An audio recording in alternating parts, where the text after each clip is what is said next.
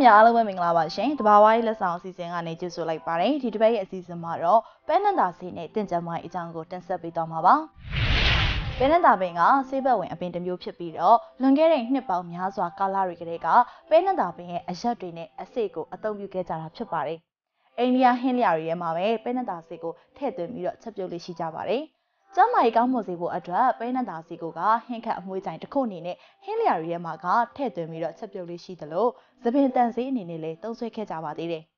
ဒါပေမဲ့မကြသေးခင်ကမှပြုလုပ်ခဲ့တဲ့လစ်လာမှုတရက်မှာကပဲနန္တာစီကကျမ်းမာရေးကောင်းစေရုံသပင်တွေတန်ဆန်းစေရုံသာမကပဲနဲ့အခြားကျမ်းမာရေးအကျိုးကျေးဇူးတွေပါရှိနေတယ်လို့သိရပါတယ်။ပဲနန္တာစီကိုဟင်းလျာတွေထဲမှာထည့်သွင်းချက်ပြုတ်ပေးခြင်းအဖြစ်စီးကျူကိုထိန်းချုပ်ပေးနိုင်မှာဖြစ်တယ်လို့ကလေးလိုချင်နေတဲ့အိမ်နောက်ရှင်တွေအတွက်လည်းသားသမီးရရှိစေနိုင်မှာဖြစ်တဲ့အပြင်အရေးပြားအတွက်လည်းကောင်းကျိုးတွေကိုပေးစွမ်းနိုင်စွမ်းရှိတယ်လို့တွေ့ရှိခဲ့ရပါတယ်။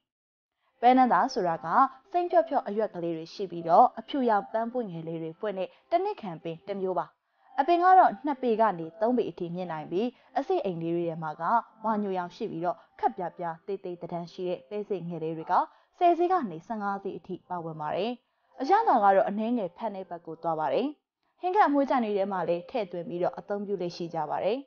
ပဲနတာဆေးကိုစားလို့ရတယ်လို့အနှစ်ဖြော်ပြီးတော့အရေးပြားမှာလူပေးမယ်ဆိုရင်ကရောင်ရမ်းနာကိုတက်တာစီနိုင်တဲ့အစွမ်းအာနေတင်ရှိပါတယ်။စက်ပြားရည်နဲ့အလှကုန်တွေထုတ်လုပ်ရမှာအသုံးပြုကြပါတယ်။ပဲနတာဆေးအစီမှာကဘက်တီးရီးယားတွေကိုသိစေနိုင်စွမ်းရှိတယ်လို့စီးကြိုကိုလည်းတက်တာစီနိုင်တဲ့အပြင်တက်တုံဆန့်ကျင်ပစ္စည်းတွေကလည်းကြွယ်ဝစွာပါဝင်နေပါတယ်။အစားအသောက်တွေချက်ပြုတ်ပြင်ဆင်ရမှာလည်းအသုံးပြုလို့ရပါတယ်။ပဲနတာဆေးရဲ့အာဟာရတန်ဖိုး ဘန်နနာစိတ်လက်ဖက်ရည်စွန်းတစွန်းစာမှာကကယ်လိုရီက35.5 gram ကာဘိုဟိုက်ဒရိတ်က6.4 gram ပရိုတင်းကတော့2.5 gram အဆီက3.8 gram အမြင့်က2.8 gram တန်တက်က3.8 mg မက်ဂနီးစ်က3.1 mg ကော့ပါက3.1 mg မက်ဂနီဆီယမ်က21 mg ဖော့စဖရိတ်က32.6 mg ဗီတာမင် B6 က0.1 mg တို့ပါဝင်နေပါတယ်။ကျန်းမာရေးအကျိုးကျေးဇူးတွေကဘာတွေလဲ။ ပဲနတာဆေးကနေရရှိနိုင်တဲ့ကျန်းမာရေးအကျိုးကျေးဇူးတွေကတော့ပဲနတာဆေးကအရေးပြားပေါ်မှာဘယ်လိုအကျိုးပြုတယ်လဲဆိုတာပါပဲနတာဆေးမှာကအိုမင်းနာကြောင့်အရေးပြားပေါ်မှာဖြစ်ပေါ်လာတဲ့အရေးကြောင်းတွေကိုဖယ်ရှားပေးတာအပါအဝင်အရေးပြားအတွက်အကျိုးကျေးဇူးများစွာကိုပေးပါတယ်ဝက်ဆန်တွေကိုလည်းတက်တာပြောက်ကင်းစေနိုင်တဲ့အပြင်ပဲနတာဆေးအမှုတ်ကိုရှင်နဲ့ဖြော်ပြီးလူပေးမယ်ဆိုရင်ကအရေးပြားကိုအဆိုတက်ထိမ့်ပေးပြီးတော့ခြောက်သွေ့မှုကင်းဝေးစေမှာဖြစ်ပါတယ် ဆန်သားကိုဘယ်လိုမျိုးကျန်းမာအောင်လှုပ်ဆောင်ပေးတယ်လဲပန်းနတာစိတ်ကိုကအုံးစီထဲမှာစိတ်ပြီးတော့လူပေးမယ်ဆိုရင်သပင်ကိုအမြင့်ကနေအဖျားအထိကျန်းမာတန်ဆွမ်းစေနိုင်တဲ့အပြင်ဆန်သားမှွှင်းညင်းပေါက်လေးတွေအထိအဖြစ်ပေးနိုင်ပါတယ်သပင်ကိုတောက်ပစေပြီးတော့ချောင်းမွေ့စေမှာပဲဖြစ်ပါတယ် ပန်းနတာစိတ်ကိုသုံးပြီးတော့သပင်ကိုပေါင်းတင်ပေးလို့လည်းရပါတယ်ပဲနတာဆေးကိုတညစိန်ထားတဲ့အရှိနဲ့ခေါင်းကိုဆေးပေးမယ်ဆိုရင်ကဥယျာဉ်ပြား၆သွေးမှုကိုကင်းဝေးစေပြီးတော့ဘောက်တွေကိုတက်တာစေမှာဖြစ်ပါတယ်။ပဲနတာဆေးကသပင်ရဲ့ရောင်ချယ်တွေကိုထိမ့်သိမ့်ပေးနိုင်တာကြောင့်ပဲနတာဆေးကိုရေရှည်သုံးဆွဲမယ်ဆိုရင်ကငယ်ငယ်ရွယ်ရွယ်နဲ့သပင်ဖြူတာကိုလည်းရော့ပါတက်တာစေမှာဖြစ်ပါတယ်။ အခြားကျန်းမာရေးအကျိုးကျေးဇူးတွေကဘာတွေလဲဘန်နနာဆေးရဲ့အခြားကျန်းမာရေးအကျိုးကျေးဇူးတွေကအစာချေစနစ်ကိုတိုးတက်ကောင်းမွန်စေပြီးတော့ကိုလက်စထရောကိုကျဆင်းစေနိုင်ခြင်းဘန်နနာဆေးကပိုက်ထဲမှာမအီမသားဖြစ်တာဝမ်းချုပ်တာနဲ့အစာအိမ်ရောင်တာတွေလိုမျိုးအစာချေစနစ်ဆိုင်ရာပြဿနာတွေကိုတက်တာစေနိုင်စွမ်းရှိပါတယ်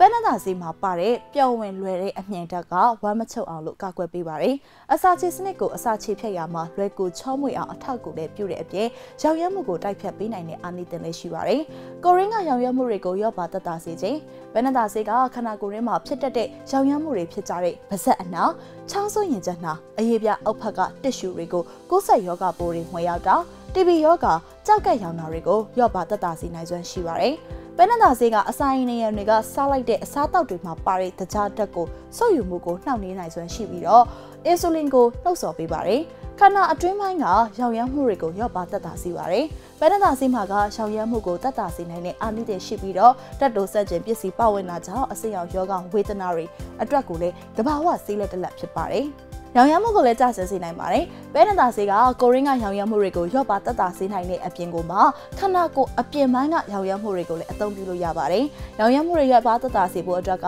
ပဲနတာဆေးကိုအဝိစ္စတန်တန်တစ်ခုတည်းကိုထုတ်အပူပေးပြီးတော့ရောင်နေတဲ့နေရာတွေမှာကပ်ပေးလိုက်ရုံပါပဲ။ကြက်သားတွေရောင်ရမ်းနာကျင်တာ၊ခေါက်ယောဂအခန့်ရှိတာကြောင့်နာကျင်တာမျိုးခြေထောက်မှာအနာတွေဖြစ်တာကြောင့်ရောင်ရမ်းနာကျင်တာတင်ပစုံအာယုံကျော်ကြိုက်ခဲနာကျင်တာ နှင်းခုနာတွေကိုတက်တာစီဖို့အတွက်ကပဲနတာစီကိုအသုံးပြုပေးလို့ရပါတယ်။ Aden disorder ကိုလည်းတက်တာစီနိုင်ပါတယ်။ပဲနတာစီကဟင်းလျာတွေကိုအရသာတိုးစီတဲ့အပြင်အစာစားခြင်းစီကိုလည်းတိုးစီပါတယ်။အာဟာရဓာတ်ကကြွားစွာပါဝင်နေပြီးတော့စားသောက်မှုပုံစံမုံမမှန်တဲ့ဝေဒနာကိုလည်းတက်တာအောင်လို့အထောက်အကူပြုပါတယ်။အစာစားခြင်းစိတ်မရှိတာမျိုးတွေကိုလည်းတက်တာနိုင်စွမ်းရှိပါတယ်။ပဲနတာစီရဲ့အစီအနှစ်ကအစာစားခြင်းစိတ်ဖြစ်အောင်နှုတ်ဆော်ပေးပြီးတော့ green light အောင်လည်းနှုတ်ဆော်ပေးနိုင်စွမ်းရှိတယ်လို့လေ့လာမှုတွေအရာသိရပါတယ်။ ကလေးငယ်တွေအတွက်ကတော့တိတ်ပြီးတော့မတင်တော့တာကြောင့်ကလေးငယ်လေးတွေကိုမကြွေးခင်မှာတက်ကြွနားလေသူတွေစီကနေအကြံပြုချက်ကိုရရည်ပါတယ်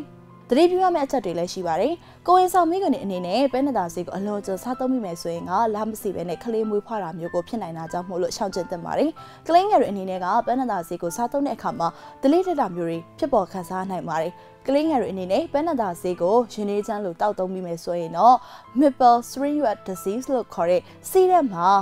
maple syrup အနက်ပါနေတဲ့ယောဂခံစားရတယ်လို့မျိုးကလေးတွေရဲ့ခန္ဓာကိုယ်ကအလားတူအနက်တစ်မျိုးကိုထွက်တတ်တဲ့အခြေအနေဖြစ်ပေါ်နိုင်ပါတယ်။ဘသူတွေကမစားသင့်ဘူးလေ။ဖက်ဘေးစီမျိုးရင်းပင်တွေနဲ့ဓာတ်မတည့်တဲ့သူတွေအနေနဲ့ကတော့ဘဲနတာဆေးကိုမစားသုံးသင့်ပါဘူး။ဘဲနတာဆေးကသွေးရင်းတခြားတဲ့အပေါ်မှာတက်ရောက်မှုရှိတာကြောင့်ဆေးချိုဆေးတောက်သုံးနေရသူတွေအနေနဲ့ဘဲနတာဆေးကိုအလွန်ကြုံမစားသုံးသင့်ပါဘူး။ အခုပြောပြသွားတာတွေက Hello ဆရာဝန်ကနေပြီးတော့ကိုကာပြီးဖော်ပြထားတာပဲဖြစ်ပါတယ်။ပရိသတ်တွေအနေနဲ့လည်းဘယ်နတာစီရဲ့အကျိုးကျေးဇူးတွေနဲ့ဘယ်လိုမျိုးတတိထားရမလဲဆိုတဲ့အချက်တွေကိုလည်းသိရှိသွားပြီလို့ထင်ပါတယ်။ကြည့်ရှုအားပေးခဲ့ကြပရိသတ်များအားလုံးကိုကျေးဇူးထူးပဲတင်ရှိပါရရှင်။